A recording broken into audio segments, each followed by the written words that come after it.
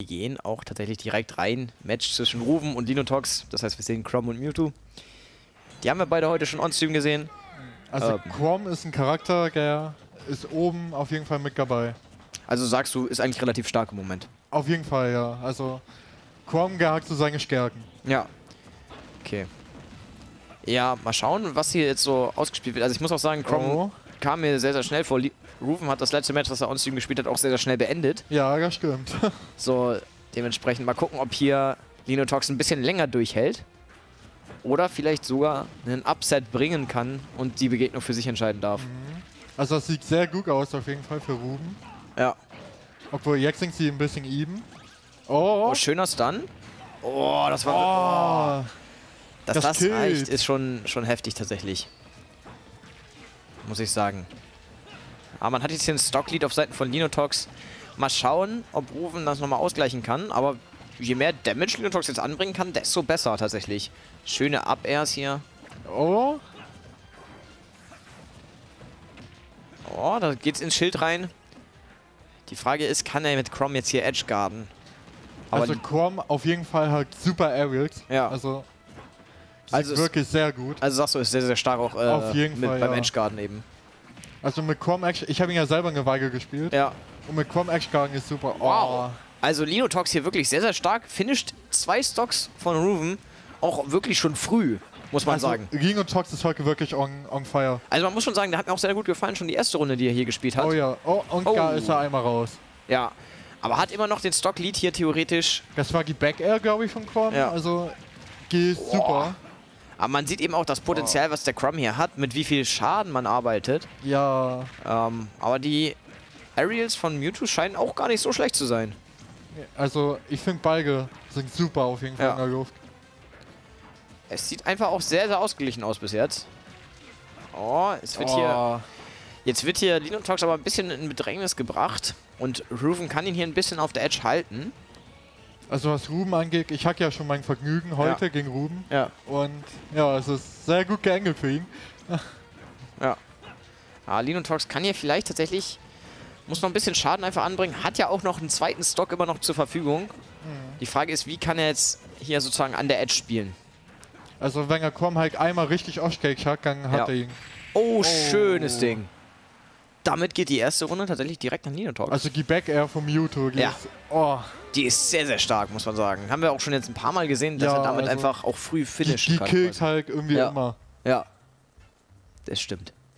Das haben wir gerade gesehen. Das ist äh, ein sehr solider Lied, muss man sagen. Doch tatsächlich im ersten Stock noch relativ ausgeglichen, aber dann hat Linotox wirklich schnell die Oberhand gehabt eben. Also auf jeden Fall eigentlich null für Ginotox, aber Ruben kann ja noch aufholen. Ja, eben. Also diese, diese Führung, sage ich mal, von der ersten Runde ist jetzt nicht so wild. Ja, eben. Es Alles ist noch machbar. die zweite Runde ist dann wichtiger. Ja, das Weil, stimmt. weil jetzt kann Linotox theoretisch sich so eine Führung erarbeiten, dass er immer den Matchpunkt hat. Mhm. Und das ist eben doch schon tatsächlich relativ relevant. So. Wir haben aber schon eben, ich habe schon mal nachgefragt, man, man bleibt auf der Karte einfach. Ähm, weil das ein bisschen entspannter ist, als die ganze Zeit sozusagen die Karten zu picken und zu bannen. Auf jeden Fall wundervolle Musik. Ja. Muss man auch sagen. Aber zu Anfang wird sich ein bisschen beschnuppert. Also auf jeden Fall Plattformen sind für beide, denke ich mal, gut. Vor Ja. allem für Quam. Oh, schöne Kombo hier Oh. von Ruven. Schade, dass Quam keine so eine Ike ab hier hat. Ja. Könnte ein bisschen böse ausgehen. So. Oh. Oh, das ist wieder... Ah, man ist jetzt wieder an der Edge auf Seiten von Linotox, aber kann sich hier nochmal recovern. Oh. Tradet ein bisschen Prozente, aber Linotox hat einfach schon deutlich mehr kassiert. Oh, diese Back Air, diese Range. Die unterschätzt man immer. Ja. Oh. Oh, das war ein Early Finish hier. Das ist so eine beliebte Quam und Roy-Kombo. Die man gerne mal macht. Oh. Oh. Rufen tradet jetzt wirklich gut Prozente rein. Und hält jetzt Linotox hier auch ein bisschen unter Druck an der Kante. Schöner Edgeguard hier von ihm. Also Ruben ist jetzt auf jeden Fall drin. Ja. Oh, das war eine Menge Oh. Schaden jetzt von Mewtwo hier. Warum ist Gejab vom Mewtwo so stark? Das ist schon heftig, wie stark der ist. So. Oh. Schöner Finish. Muss man sagen. Der Smash war clean. Ja. Oh, jetzt hier wieder. Die geben sich beide nicht viel. Beide im zweiten Stock sind nur 50% Unterschied jetzt effektiv. Ja, Linotox. Hier mit einer schönen... Einfach mit einem schönen Versuch sozusagen Schaden überhaupt anzubringen. Ist aber schon ein bisschen behind jetzt, 50%. Ja, quasi. keiner Skunk aus der richtig reingespielt. Beide mit äußerster Vorsicht. Ja. Auf jeden Fall. Ja, aber Linotox ist an der Kante hier und da macht Ah. Rufen wirklich schöne Arbeit Also- und holt sich den nächsten Stock. Also an der Kante macht Quam das, was er am besten kann. ja. Das war Killing. ja, ich glaube tatsächlich... Oh, das ist schon wieder Ah. heftig. Das ist schon wieder ein relativ schlechter Start von Linotox in seinem letzten Stock. Da muss er echt ein bisschen aufpassen und schauen, dass er jetzt hier noch zurückkommen kann. Aber Rufen lässt ihm da jetzt nicht so viel Chancen. Hat ihn an der Kante. Oh. Linotox jetzt hier nochmal mit dem Versuch, aber ja, Crom macht hier wirklich sehr, sehr viel Damage einfach. Oh. Oh. Also wenn wenn Linotox Quam killen möchte, muss er ihn richtig weit Offstage bekommen. Ja. Quam kommt nicht wieder zurück. Ja. Das ist so Quam seine Schwachstelle. Ja, ist ein bisschen problematisch hier jetzt aber, dass Linotox schon so viel kassiert hat, weil Rufen eben hier noch zwei Stocks hat. Oh. Aber er hat jetzt Chrome offstage gebracht. Und war's. ah, Ah, geuptet. da wird er leider gefinisht. Schade. Das ist der Ausgleich für Rufen. 1-1. Ja. Das heißt, weiterhin, keiner hat hier deutlich die Oberhand, sondern es ist eben sehr, sehr ausgeglichen insgesamt. Also das bleibt spannend. Wie Ja. die vorherigen Matches auf jeden Fall. Ja, muss man sagen, wir haben heute relativ viele ausgeglichenen Matches gesehen und zu null wurden noch nicht so viele Ja, das stimmt. Das stimmt. Das ist ähm, vor allen Dingen im Best of Fives, muss ich sagen, hat man eben noch nicht so dieses gehabt, wo man sagt, boah, also, da ist ein riesen Skill Gap, da wird wirklich jemand hart dominiert. Sondern es war meistens eher, dass man es ein Vor zurück oder dass eben das ein oder andere Spiel abgegeben wurde. das stimmt, ja. So. Die Charaktere bleiben gleich. Das sind ja beides die Mains quasi. Stadium, okay. Ja. Genau. Was denkst du denn? Hat einer der Charaktere einen besonderen Vorteil? Oh, ich weiß nicht. Also ich, ich habe das Gefühl, dass ähm, Rufen irgendwie ein bisschen, ja nicht flüssiger, aber dass er wirklich mit den Combos irgendwie ein bisschen mehr Schaden machen kann.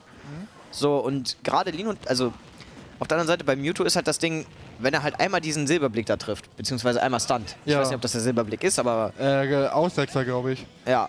Auf jeden Fall, wenn er damit einmal quasi trifft und dann eine wirklich schöne Combo setzen kann, dann hat er da auch Chancen, finde ich. Aber prinzipiell ist, glaube ich, Com da ein bisschen einfacher zu handeln einfach. Ich glaube, weil Quam so schnell ist, Ja. kann er ja Mewtwo so überrennen einfach. ja, Mit schnellen Hieben einfach hinterher setzen. Genau wie sowas. Ja, aber man tradet hier wirklich noch relativ viele Prozente. Ähm, Linotox hat jetzt Ruben hier an der Edge, kriegt aber auch einiges an Schaden. Ist jetzt selber auf der Edge. Oh. Da hat Ruben nur drauf gewartet auf den Nullcover. Ist aber nicht schlimm, gegen und Tox kann auch aufholen. Ja, man muss jetzt hier einfach nur wirklich Ja. schnell. Ja, Gas, Gas. Gas, Gas auf, Das- aufholen. sehr nice. Das ist quasi jetzt even wieder in Stocks. Mhm. Das heißt, wir schauen mal, wer hier jetzt im nächsten Stock die Oberhand gewinnt. Ja, schöne Kombo von Linotox. Oh. Oh, jetzt ist man aber. Das, das ist jetzt gefährlich hier. 70% schon wieder Super angesammelt. stark. Oh. Ja. oh ich, ich liebe Ey. es ja, die Sidepiece zu sehen von Quam. Ja, Crom, Crom hat hier einfach die Oberhand, beziehungsweise Rufen Oh. wirklich sehr, sehr stark unterwegs. Finisht die Linotox auch schon wieder. Und der ist jetzt wieder in seinem letzten Stock.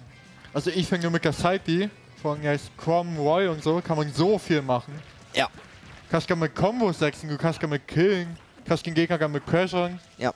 Alles ist möglich. Kann man oh. Das ist der letzte Finish gewesen. Das war bei 80%. Ne? Also das ging schnell, das war Ja. echt schnell. Das war eine sehr, sehr schnelle Runde. Und das ist halt jetzt der Matchpunkt. Immer wieder für Rufen. Und da kann jetzt Linotox hier auch ein bisschen mental unter Druck setzen.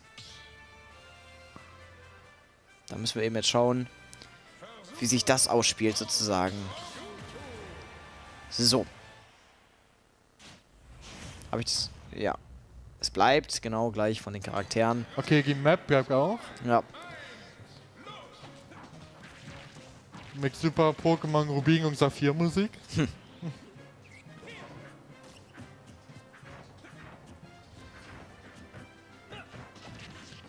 Niemand will hier verlieren. Ich bin gerade Ja. sehr vorsichtig auf jeden Fall. Ja, ein bisschen an der Kante eben, aber da ist Crom doch deutlich noch ein bisschen stärker als Mewtwo. Das würde ich auch sagen, ja. Also an der Und- Kante, Chrome hat mehr die Kontrolle auf jeden Ja. Fall. Genau, also wenn, wenn Linotox da Space hat, um sich zu bewegen, quasi auf, auf der Stage, dann ist es in Ordnung, aber Mhm. er hat halt relativ wenig Optionen an der Kante. Chrome ist allgemein auch sehr stark. Also Ja. unterschätzen sollte man ihn auf keinen Fall. Na, ich glaube auch gerade Rufen hat er im letzten NZ schon bewiesen, dass er eben mit, mit dem Crom auch einiges kann. Ja, ja. Ähm, da muss man jetzt eben vielleicht sogar ein bisschen respektieren einfach. Aber Linotox, der prügelt sich munter weiter mit ihm. Ähm, und macht hier auch nicht so eine schlechte Figur. Oh, das ist einmal gekillt. Das ist tatsächlich ein relativ early Kill. Stocklead hier für Linotox. Oh, Ah, never mind. Ja, Das ist wieder ausgeglichen. komplett ausgeglichen wieder. Da dachte ich kurz, Linotox hat jetzt vielleicht mal die Oberhand, aber Ruven ist äh, stark unterwegs und gleicht hier mit dem Chrome einfach aus. Ob es noch ein 2-2 wirkt, mal gucken. Ja, wenn es ein 2-2 wird, dann geht es immer in die fünfte Runde und das ist dann die spannendste. Aber momentan ist es halt wirklich auch noch sehr ausgeglichen. Also, ja, Crom jetzt an der Edge. Ah, Linotox kassiert hier wieder relativ viel. Okay, Backthrow. Oh, schöner Edgeguard hier. Oh. Also Mewtwo kann echt auch gut Edgeguarden. Das Finde Problem ist nur, wenn er an der Edgeguard eben oder beschäftigt ist damit zu Edgeguarden, die Wahrscheinlichkeit, dass er dann runtergeschmissen wird, ist ja auch nicht Ja. gering. Also Crom kann da ganz gut reversen gefühlt. Also so, so wer schnell ist wie Chrome, der kann Ja. locker mithalten auf jeden Fall. Oh, da war ein schöner, schöner Kill. Nein, nicht Kill, Mann. Oh, Ja, doch, war ein schöner Kill. So. ne? Das ist ein bisschen Caster-Curse. oh. Aber jetzt haben wir wieder hier Ruven, der Linotox an der Kante hält. Der recovert aber nochmal. Wir haben jetzt den Stocklead von Mew für Mewtwo. Der hat zwei Stocks. Rufen auf seinem Chrome hat nur noch einen, mit dem er arbeiten kann. Okay, der Reflektor gerade. Oh. Ah ja, aber schon wieder 130% oh, auf und Mewtwo das war's. Ja, das ist jetzt der letzte Stock. Es ist wieder ihm. Ja. Oh, Oh, Schaden. schön viel Schaden. Jetzt ist aber wieder an der Kante. Das so. macht, glaube ich, so 20% ir- irgendwie so. Ja. Das Problem ist, man findet sie jetzt wieder an der Kante und da ist Crom, wie wir schon gesagt haben, wirklich sehr, sehr stark. Ah, aber Linotox Oh. jetzt hier mit einer schönen Antwort eigentlich. Oh, gegen R ist auch so stark, was Schaden anbetrifft. Okay, das war guter Dodge. Oh. Oh. Ja, man ist jetzt hier wieder an der Kante. Oh. Oh, schön. Nee, Cormac übergeht noch. Er kommt auch wieder hoch. Oh, Never mind. schönes Ding. Oh. Das war wirklich sehr stark. also, das ist wirklich das 2-2 geworden. Ja. Und wir haben jetzt hier Runde Nummer 5 gleich zwischen den beiden. Und da war eben das, was du angesprochen hast, das Betäuben von Mewtwo. Ja. Ne? Und dann wirklich ist er da in der Lage, in dem Moment wirklich viel, viel Schaden anzubringen. Und hat dann eben in der Air den, ähm, einfach nochmal denied, den Jump. Also, wenn Anruf. Linotox es wirklich schafft, immer den Gegner zu stangen, Ja. dann hat er wirklich einen Vorteil. Ja, das stimmt. In dem Moment einfach wirklich sehr, sehr viel Schaden, den man da anbringen kann. Mhm. Und dadurch eben dann auch die Oberhand. Und jetzt ist ein bisschen, ein bisschen Druck da für die beiden, tatsächlich. Ähm, genau. Also, ich bin wirklich gespannt, wie es ausgehen wird. Ja. Holt jetzt Ruben gegen Sieg oder holt gegen Linotox? man muss sagen, die beiden geben sich halt echt nicht viel. Ne? Das Ja. ist, ähm, da wird sich wirklich aktiv gebrawlt. Und ich finde, sie sind beide auch even vom Skill-Level her. Ja. Auf jeden Fall. Eigentlich, ja, das ist tatsächlich schon relativ, relativ even. So. Aber ich finde allgemein, Ruben hat hier ein bisschen den besseren Vorteil, weil Ja. Cormac so schnell ist.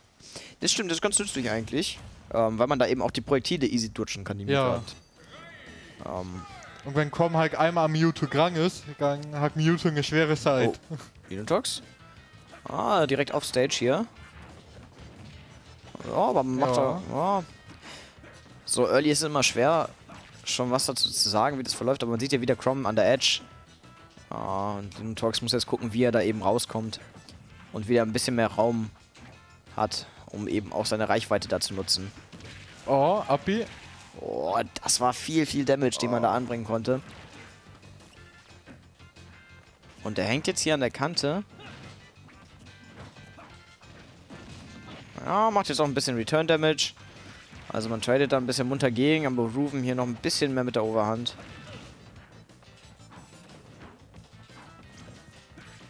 Ah, das wäre das Gang geworden. Oh, ja, das reicht schon. Ah, schwierig. Rufen wir jetzt mit dem Stocklead. Ja, all, allgemein Mewtwo ist ja ein etwas reicherer Charakter und Chrome Ja. hat ja eine Menge Killpower. Ja. Das merkt man dann doch schon hier. Mhm. Ähm, tatsächlich. Und ja, die Edge Control, das ist eben die Sache, die angesprochen wurde. Da, da hat Mewtwo einfach Schwierigkeiten gegen Crom. Ja, finde ich aber auch, ja. So, äh, da. Aber Rufen macht das ja auch gut. Der, bringt die, der treibt Dinotox immer wieder zu der Kante. Und äh, Ruben nutzt auch die Range seines Schwertes sehr gut aus. Ja. Also er geht jetzt nicht so nah aber noch weit weg genug, dass die Spitze des Schwertes trifft. Ja, finde ich gut. Ja. Ja, man muss sagen, Linotox wehrt sich noch relativ munter, Oh. nichtsdestotrotz, aber Ruven hier mit einem sehr starken Stock-Finish. Und jetzt hast du halt ein Problem, weil jetzt bist du wieder im letzten Stock und du musst halt noch drei Stocks quasi holen. Aber wenn man in der. Quam-Kombo drin ist, man frisst so viel Schaden. Ja. Aber Ah, ist wichtig, hier nochmal den. Anschlussstock zu kriegen.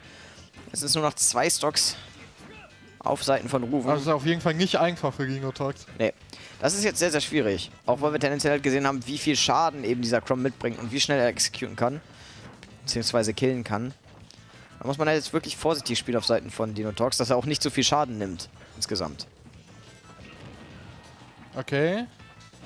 Also Ja. er macht es gut. Er macht es sehr gut. Er ging Quam gerade ein bisschen on pressure. Ja. Ja, ich sag mal so, er kriegt gerade ein bisschen Pressure raus, aber er ist eben immer noch ein Stock hinten, das dürfen wir nicht vergessen. Ja. Das heißt, er muss jetzt eigentlich hier Crom auch schon demnächst finishen. Und das ist halt, wenn Quam halt einmal an ihn dran ist, dann ist auch vorbei. Ja. Ja, und Direkt. jetzt, ja, an der Edge gekillt. Damit entscheidet Ruven verdient, würde ich sagen. Ja, würde ich auch sagen. In seinem dritten Siegesmatch die gesamte Begegnung für sich.